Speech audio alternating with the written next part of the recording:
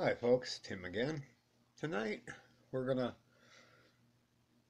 take a look at the Dell again uh, with instead of a virtual machine I've actually installed Ubuntu Mate on my old Dell, what used to be my web server.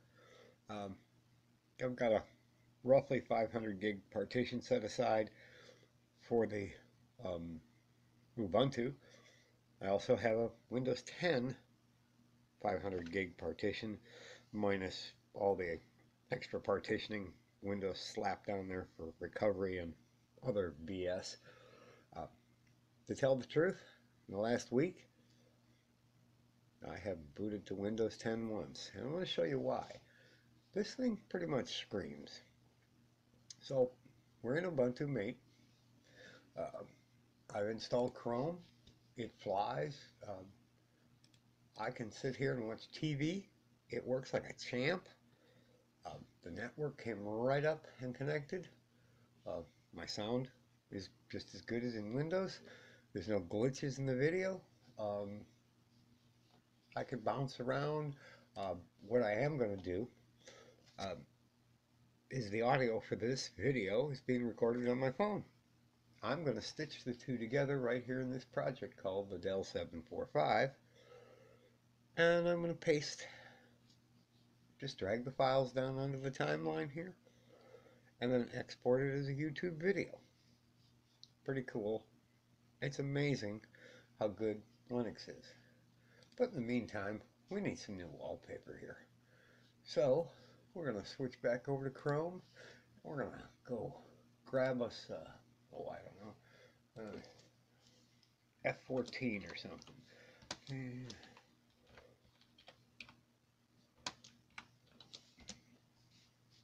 And, by the way, I'm getting the same video quality out of this uh, in Linux as I did um, in my old Windows 7 install and in Windows 10.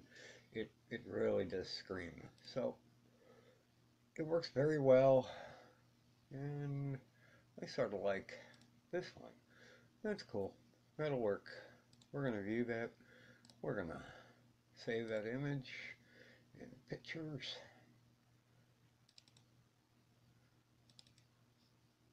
let's see, right there. And I'm going to show you how quick we can just, we're going to change that wallpaper.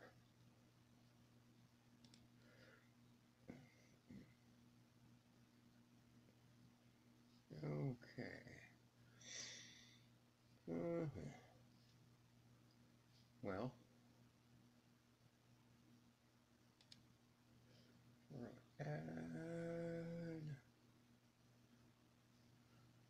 whatever it was. I just downloaded I guess it would have paid to look at it, wouldn't it? Hopefully that's not the one I just downloaded. Because if it is, that's not the one I wanted. Let's see what that one looks like. No, that works. Boom, we're done. Wallpaper changed. Looks a little more to my liking. Um, just one of my favorite airplanes.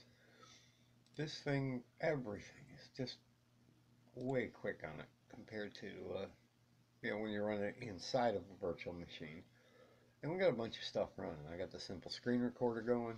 That's going over on uh, right here. That's actually recording the video right now. Um, we can open a file just as easy as you can be and edit it any way we want. We're not going to edit anything today because I've showed you enough of the gimbals. Um, I was easily able to map a network drive here. What's the uh, little thumb drive in my USB port? Uh, 64 gig thumb drive in my USB port on my router. Um, I did a video on that the other day right here called map a USB drive on your router in Ubuntu Mate but I'll show you how it's done real quick. Um, you go to home base here and file and then you would connect to a server you're going to type in your IP address of your router or your other machine, and then you're going to pick out Windows Share, and you're going to name the share. No, I've already done it. We don't need to map it twice. Um, just thought I'd throw that in there. Uh, currently, and, and it's quick, there's a whole bunch of stuff in here uh, off that machine, and it, it moves stuff pretty quick. Uh, got my copy of MS Office up there. Probably won't need that in here since I have LibreOffice. Uh, right here, let's say I want to open a, a document. Um, mm -hmm. Boom. And there it is. Here's a little info thing I wrote for people telling them, because the product is for sale, uh, to change their passwords. Uh, pretty basic, and it's actually right on the desktop here. I could have saved that in Word format, but why bother? They're already in here. Uh, an 8 gigabyte computer with a dual core processor running Linux really, really is fast. This thing is probably 20% faster in Linux than it would be in Windows 10.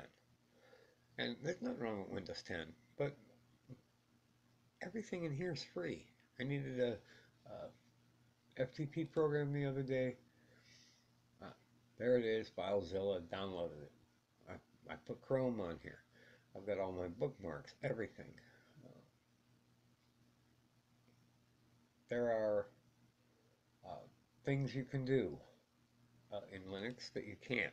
You're not going to get a video editor like OpenShot um,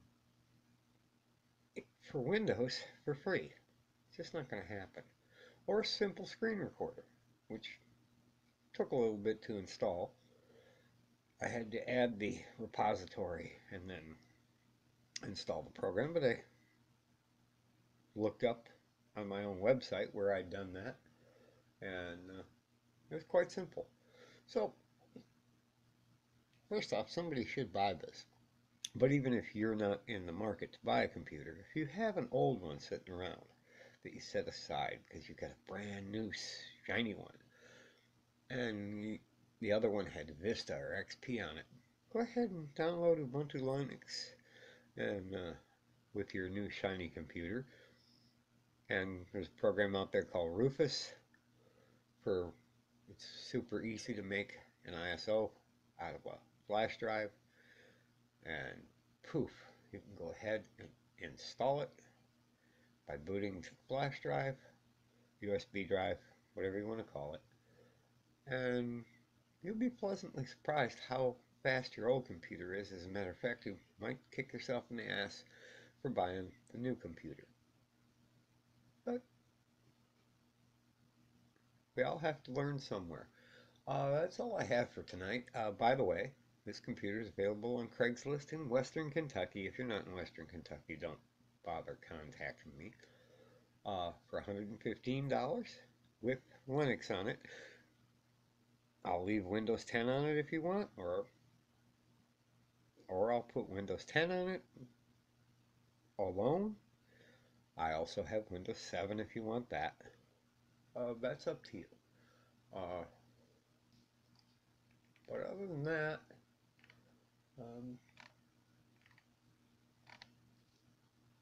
that's all we have for today. Just thought I'd throw this out there. And on that note, we are going to stop this recording.